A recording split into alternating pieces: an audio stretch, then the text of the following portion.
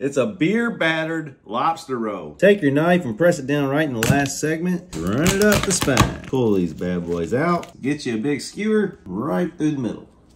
There you have it. Some of this Drake's Fry Mix. Add that in, the habanero blonde ale from Country Boy. Add a little bit of that in there. And you know we're going with some of the spicy Dan-O's. Mix it up and get all your clumps out. Get them nice and coated and let a lot of that batter drip off. And then when you place this in, you can't just drop it in. You have to let it cook for a second because it'll stick to the bottle. It's been about eight minutes. They should be perfectly cooked. Dill weed, spicy Dan-O's, sriracha, big scoop of mayonnaise, juice of some lemon, Sauce on the bottom bun. two skewers of lobster, Top them with our sauce again. Place your top bun.